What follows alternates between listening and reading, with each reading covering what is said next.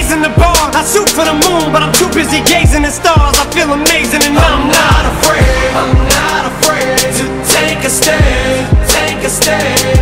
Everybody,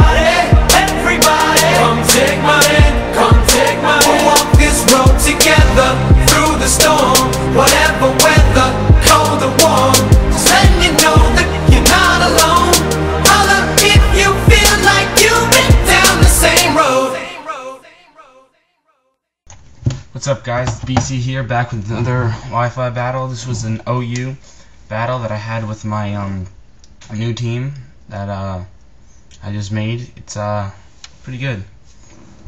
Yeah, uh, I would have a couple more battles up, like two more, but both guys DC'd at the end. One was like a win at the end with my counter Chansey, and the other one was a 6-0. But alright, so I lead off with my Empoleon, get off my rocks, and he goes for the nice play on the T wave. And then he leech seeds, so he has two good plays here. And I roar him out. This this match was pretty much I was like, I don't know, it kind of looked like I was getting killed, but somehow I pulled off an almost win. Yeah, I kind of gave the way there, but yeah, it was a very good battle. So I go into my red rapist, and he gets confused, and then I hit myself and then he used T-Wave. I was tr I'm trying to get off the Willow, and um, I think I get it off right here. I do. Thank God I snapped out of the confusion there, so I didn't get the power fusion. Then I go for the Shadow Sneak to see how much it's gonna do, and I got a crit with that, so I was like, alright, I know this isn't gonna do a lot. I'm just gonna stay in because pretty much here I'm screwed. I just want to get some damage off on this thing. So he takes some he kills him off. He's going to take some burn damage after the lefties. And I'm going to send George, my revenge killer. And I'm going to go straight for the U-turn here, I think. Yep. Just to see what he's going into. And I'm going to go into my pitch black knowing I'm going to be able to set up on this thing because I'm pretty sure this thing has nothing to wall me with. So I knew I could survive the one thing because I do have the uh, Focus Sash without the rock. So now I'm going to go for the Earthquake and I'm going to take him out here.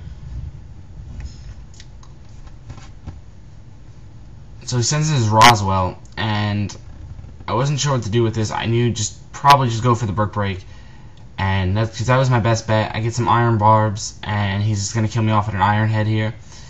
Maybe if I had a little bit more health I would have been able to live that and kill him off with another brick break, and that could have made me win the game.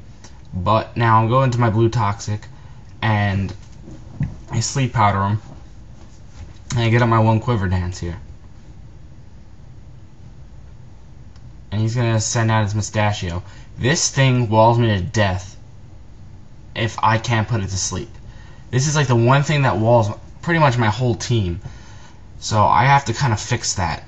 But yeah, I go for the bug buzz to see how much I do with the Tinted Lens, and I was kind of upset about how much that did. I was like, God damn it, did I have Tinted Lens on this thing? But found out he was max, especially bulky, like these things usually are. So I go for my quiver double quiver dance while I'm burned.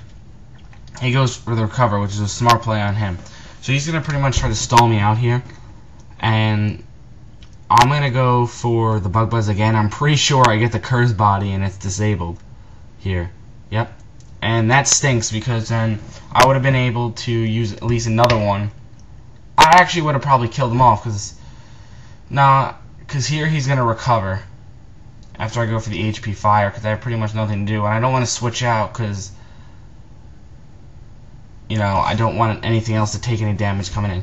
So that curse body killed just killed me there because I probably could have been able to take him out with at least two more bug buzzes. So I go on the George here, going for the Stone Edge, knowing that this is going to take it out.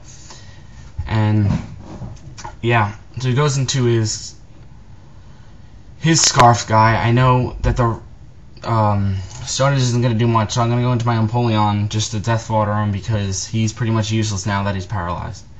He didn't really get to use his full potential in this one because he got paralyzed, but he gets his Moxie up, and I'm going to go back into George because I know he's Scarfed, but I know I'm going to be able to outspeed him. So I think I'm going to go for the U-turn here, or I do predict... Yeah, I go for the U-turn.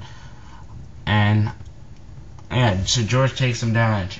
And I'm gonna go into my red steel, and you're gonna see here. This also kind of cost me the game too. I go for the one swords dance, and I meant to go for another one, and I accidentally clicked superpower, which I was gonna get up one one more swords dance. I was at plus four, and after superpower, I would be at plus three, and that would help me out a little bit more than plus one. Well, actually, a lot more than plus one.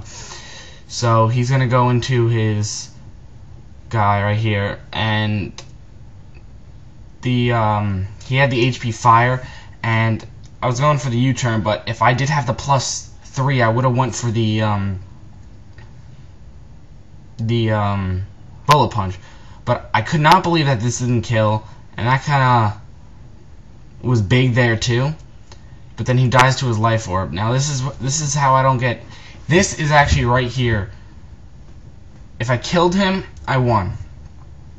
But he wound up living because he has max uh, HP and max D, and he was able to live that, get the T-wave off on me.